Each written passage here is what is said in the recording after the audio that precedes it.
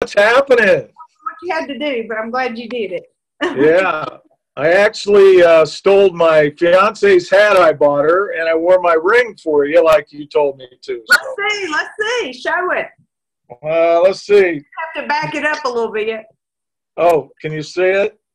Back it up a little bit more. There you go. Yay! Ah, good job. Thank you.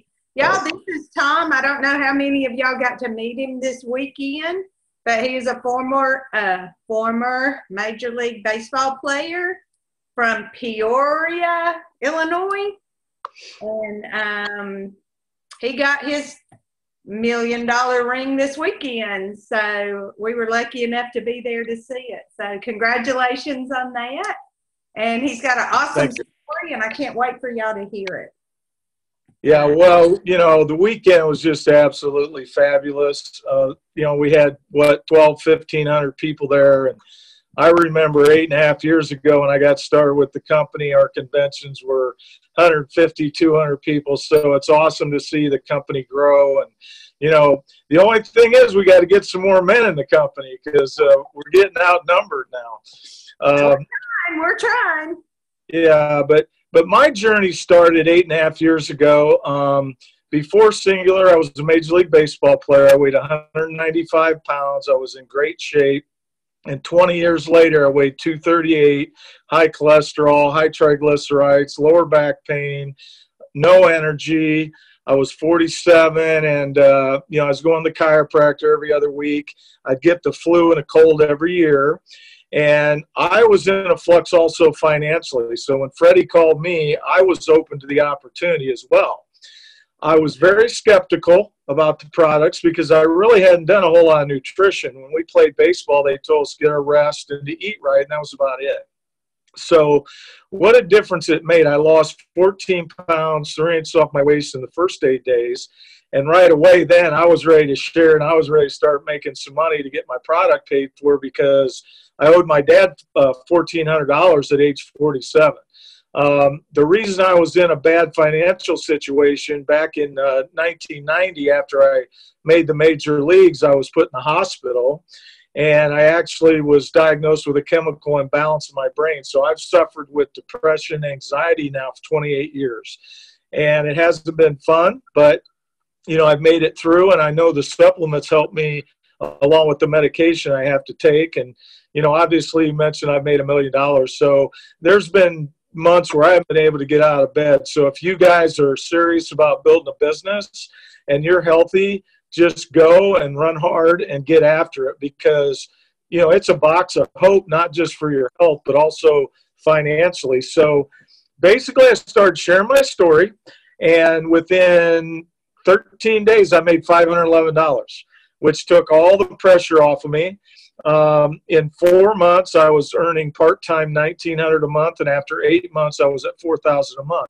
Now, everybody's uh, results are going to vary, and those are pretty rapid results. But if you think about it, if you could help somebody get to 500 or 1000 a month, that could make their car payment, it could take the pressure off uh, of making a mortgage payment, it could help get their kid in a private school. You know, five hundred to a thousand dollars a month is more money than people think. Plus, they start seeing it bigger, and they once they get to a thousand, they know they can get to two thousand, and that's kind of the baby steps that I took. But I kept doing it uh, for about three and a half years, and I told myself if I get to ten thousand a month, I'm going to go ahead and give up my baseball and softball service, and I'm going to go full time. So I did that, and uh, about I was hovering around gold director for probably a year and a half.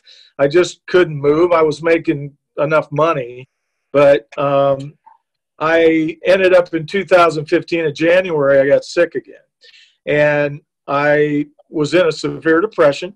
And I went from gold director to silver manager, and I had already quit my job. I was suffering physically and I wasn't able to lead, I wasn't able to build. And when I woke up out of that cloud, I had to get back to work. And I talked to Mark Walker about it. And he said, when you feel good, run. He goes, when you don't, you know, talk to Freddie, you know, delegate, get some help. And that's what I did because anybody in our company, in my opinion, if you reach out to them with your heart and you ask them for help and you're sincere, you're going to get it. And we have a lot of leaders in this company and a lot of people that are just starting out are afraid to talk to, and that's a mistake. At these conventions, go up and talk to them, share your story, listen to theirs, you know, ask for their number. Uh, most people are going to not only give you their number, but they're going to help you on the phone, and that's that's the key. So, in my opinion, I'm kind of old school. I build the relationship. I get them on the phone with people. I match them up, and that's kind of how I do it. If I can get face to face with somebody, go to lunch or whatever, or just have a one-on-one meeting, that's where I do my best recruiting. However, we have signed up a lot of people on transformation parties. So when you get somebody started, your objective is to get them their quick start, right? And if they're really wanting to do something, you you go for the extreme. But one of the best ways is they may not be ready to do a presentation, but you can go over there if they can get eight or ten people over in their house, you can go over there and present, and then they sign up three, four, five people, and all of a sudden they got their quick start, they got most of their product paid for, and now the pressure's off. Plus, when they get that money in the porthole, they're going to see that this is a real business. So that's kind of what we did. Um, obviously, the app now is unbelievable. I've been using it the last two or three days, and it's working great. Um, and you can expedite your exposures a lot faster with that. So uh, don't be afraid to get out of the house and talk to people. Um, it's so easy to get a number and email if you do it right with rejection free strategy. So, you know, for instance, uh, you know, I was I was at a enterprise rent a car the other day. I had to take my truck in for a recall. This guy comes in, brings me a car, real nice guy and get to talk. And I said, "How long you worked here?" And he goes, "Told me two years." And I said, "Is that is this your dream job?" And I shut up. And he goes, "No." he goes, "You know, I I I want to do more with my life." And I said, "Are you open to making money outside of working at enterprise?" Shut up. You know, I got his phone number. I said, you know, I'd send him some information or I'd give him a call. But the point is, it wasn't hard to get it. Now, one of the things you might want to do is actually say, well, here's my direct contact number and start writing it down for them before you ask for theirs. And then say, what's yours? And, and your percentage of getting a phone number is going to go up by about 50%. If they don't want to give you the number, they're going to give you an email anyway. And on our app now, we can email people. So um, lately, I've been getting a lot more phone numbers just because I've been using that strategy. So it's it's been really cool. So anyway, you know, after going to Silver Manager, I mean, the pressure was on, and um, a year and two months after that, I hit executive, and I won my trip to Dubai. Yeah, and then I hit it about five five months out of eight or something, um, and the big money started rolling in for me. And um, you know, I look back on the journey, and Fred always told me, you know, enjoy the journey no matter, you know, whether you're in a peak or a valley. And I, I couldn't do that. You know, I, when I was in a valley, and especially when I was battling depression and anxiety, you know, I just felt like the whole world was on top of me and a big weight, and I wasn't enjoying it.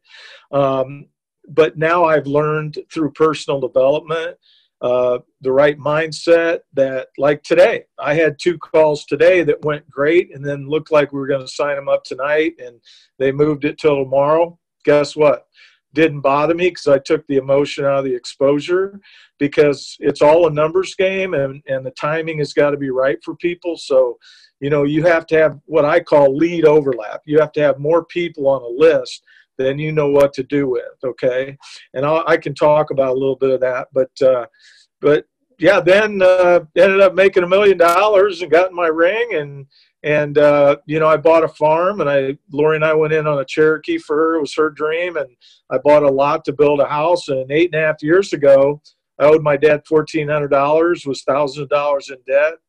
Um, you know, had two old trucks with two hundred twenty thousand miles on them. My health was not good, so you know if I can do it, anybody on this call can do it. It's you have to work at it. It's it's not net play. It's net work. Yeah, good, but that's a good one. I like that. That's awesome. Yeah. So, Tom, if you could go back and do over something, what would be the one thing you would do over to accelerate your business? Um, or not even accelerate it, but just change something that you did? I would uh, change the fact that I, you know, I did a lot of personal development, and I did, I, you know, I'd get on YouTube and I'd look up, okay, way to expose, invite, excite, do all these things, and I wasn't comfortable getting out of my comfort zone soon enough. So what I would say is this: okay, I don't care how many books you've read how much you know about our ingredients, how great you know you think our pay plan is. It has it has nothing to do with anything if you don't get your butt out of bed and start talking to people. So if you write down a list of 10 things to do tomorrow, I would write down talk to people and I would just write that 10 times. Because you know, we can only saturate our brain with so much motivation and like this morning, I did my uh, daily devotion, and I did uh, two YouTube videos on dreaming, and I posted something about dreaming today. And then I went out and I got on the phone and I started talking to people because activity is the only thing that we get paid for. Now, there's two things we get paid for. All right and you have to focus on those two things for at least two hours a day. The other 22 hours a day, you can do whatever you want. But you cannot, you can multitask, you can take a shower and sing, but you can't multi focus. So you can't think of A and B at the same time in your mind. Just go ahead and try it. You can't do it. You're going to see A or you're going to see B. So people are on their cell phone, you know, uh, just wasted time surfing the net, looking at Facebook. That's all multitasking. It's not making any money. We only get paid to do two things recruit and retail. That's it. And, you know, for us, I mean, it's pretty easy to, to you know, either, you know, get a member or distributor. But my point is, if you're not going through the numbers and, and you don't have income producing activities, and let's say tomorrow for two hours between 11 and 1, I set aside just to work on my contacts on recruiting and retailing. And you called me. Okay, now if you needed a three way for me and text me, I would do it. But if you're, you know, if you're just my Aunt Gloria and you call me to talk to me about the weather, I can't take that call. I can call you back in two hours because that's split focus and it's not doing my business, you know, any good. And you can't lead a team if you're not leading by example. And I need to get better at recruiting. I, I recruited a lot more people when I first started. Of course, I work with a lot more people, which takes more time. But I have to get my five or six or 10 people recruited every month. And when that happens and your downline's watching you, you know, th- they get respect from that. And the other thing that I would like to say is probably the, the best thing I've done as a leader, because it took me about four years to even lead, is I am reliable. If I tell you I will call you at eight o'clock, I will call you at eight o'clock. If I tell you I'm going to be at a meeting, I will be at the meeting. If I get in a wreck and I can't make it, I will text you. There, not everybody does that. But if you keep doing that, no matter how you know where you're at rank wise you're going to get the respect of your team because they know that when they need you that you're going to be there for them. So i think that's important. But if you want i can go through our st- uh, six steps to success really quick. It's up to you. Oh i would love for you to. If you've got the time we've got the time. Okay so, so really, not, not paying you any attention. I'm looking to write. So. Well, okay, really quick. So Freddie Elias, who's made almost three million dollars, is my sponsor.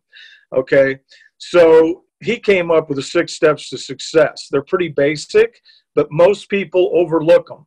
So the first one is know your why. Now, this is what you're passionate about.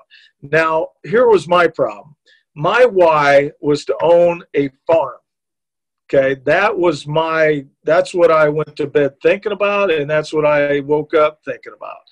The problem was it was a materialistic why, and it wasn't going to get me that farm. So, two years into it, I decided to let go, let God have it, and I said, What I'm going to do is fill the needs of people, and I'm going to help people because if I help enough people get what they want, I'll get everything that I want. And that's Zig Ziglar said that. So you have to do that.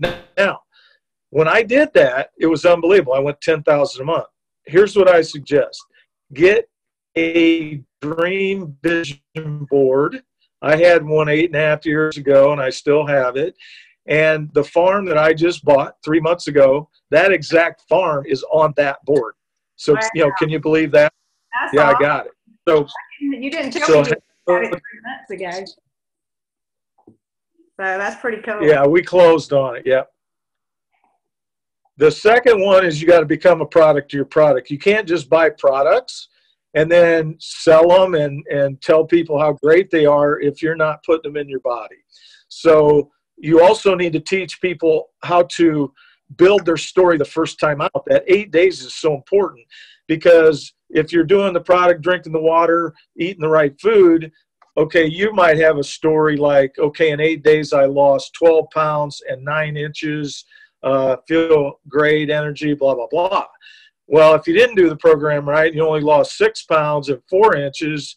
There's a big difference in that story, and it could cost you a ton of money if you become a distributor.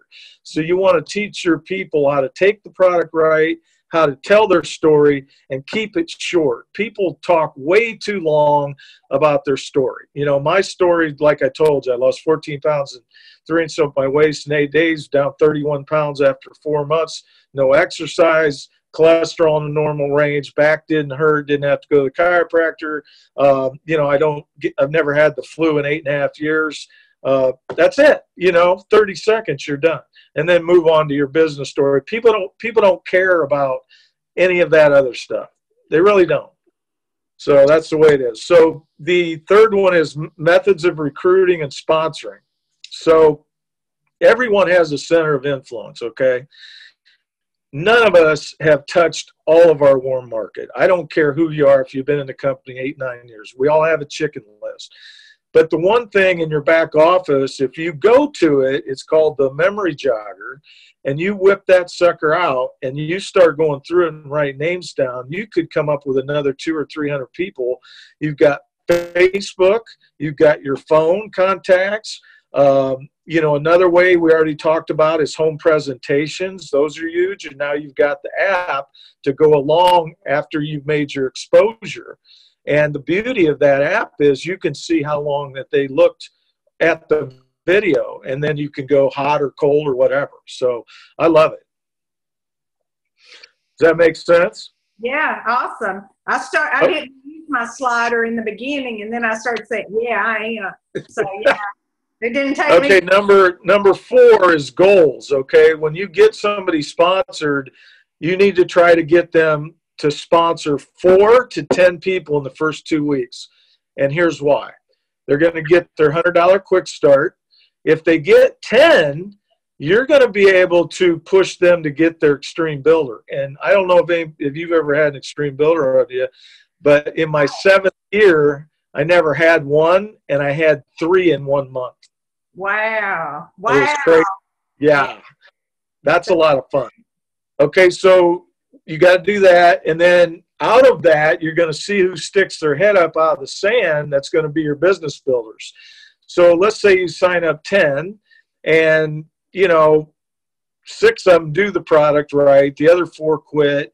and two of them decide they want to be distributors, stick their head up out of the sand, you got to run with them and you got to give them a task. So um, to take their temperature, you might just email them uh, or text them, and you could use the app. You might say, "Hey, uh, Jenny, I'm gonna send you a, a, a short video on my buddy Brian Martin, and I want you to tell me what you like best about it." Now, if they can't go on there and look at a three minute video and text you back and tell you what you like best, then you may not have a builder. You may have what I call a fluffer. Okay. Lip service. Okay. So you have to find out. And then if they do come back and hit you up, then you give them a second task. Hey, Jenny, awesome. I need you to write down your top 20 people that you would love to do this business with and let's let's get them on the phone you have to give them tasks or you're never going to find out you're you're going to waste your time with so many people that you're not putting your time with the people you should be putting in with all right number five uh, facebook live you got to plug people into the monday night uh, room at the top 8.30 and Cal also has one at 12:30 every day. Those are important. You have to keep your people in the game. All right that also leverages your time. So let's say I've got 10 distributors under me. I say, hey, go to room at the top, Monday night training. Now I've got 10 people looking at that, okay? And it's leveraging my time. All right. Three way calling, so important. You know, conference calling, whatever you want to call it. But you need to teach your people how to set that call up. The way I do it, I would call you first, and then I would call my prospect when they get on the phone. I would say, "Hey, Nancy, hang on a second. I'd, I'd hit it, and then I would introduce you properly. I would say, "Nancy, look, I'm really excited. Um, I added uh, Vicky on the phone. Uh, she's got a great story, and you know she can help us, you know, answer some product questions. You know, I'm fairly new in the business, or whatever you got to say, and then go to mute, and you're going to talk." When you're done, you're going to say, so Tom, you know, go ahead and take, you know, you know, finish up. And then I'm going to come on then. I don't, I don't start talking unless you're done. And so many people are talking over each other. It's, it's just not professional. So we need to teach people how to do that. Uh, the other thing we got to do is duplicate. You know, I mean, we got to teach people how to expose, how to invite, how to excite, and we need to teach them how to three-way call, and we need to teach them how to uh, sign them up with the right kit. I mean, obviously, there's people that are selling cores that aren't even bringing up the uh, ultimate because they're afraid of the price. Well, that's ridiculous. You know, you got to go up here to come down to the ignite, you know, or, or the core. So you you got to lead strong. You got to believe in our company. You got to believe in our uh, products and you have to have a belief in our industry and you got to have a belief in yourself because if you don't have that posture then people are going to see right through that last one's personal growth so to become a better leader you got to get stronger the better you are the more you work on yourself the better leader you're going to be so you got to read and you got to listen to audios i'm an audio guy i like you know stuff in my truck I like YouTube. You can get all that stuff for free on YouTube. Just, you know, anything you want on network marketing. Jim Rohn is a great one. Um, the one I like is about an hour long. It's uh, building your business, building your network marketing business. Jim Rohn. Everybody should listen to that. And then you can go on there and just type in network marketing. You know, everybody you know wonders how to get contacts. And there's all kind of stuff you know on there. But if you find someone that makes sense to you, then then stick with that person because you know you can't jump around. Now, Big Al Schreiter, he's got some good verbiage I like, like you know, if I would you. So if I sent you an app that's three minutes video, would you watch it? He's got some great verbiage. I think my problem for many years was I just fumbled the verbiage all the time. You know, you have to be very direct with what you say, and you have to practice it. And to be honest with you, recording recording yourself is not a bad idea. Kind of like doing a live, but you're doing it on a recording. Yeah. That's a good idea. Yeah. So that's about all I got. That's some good stuff, let me tell you.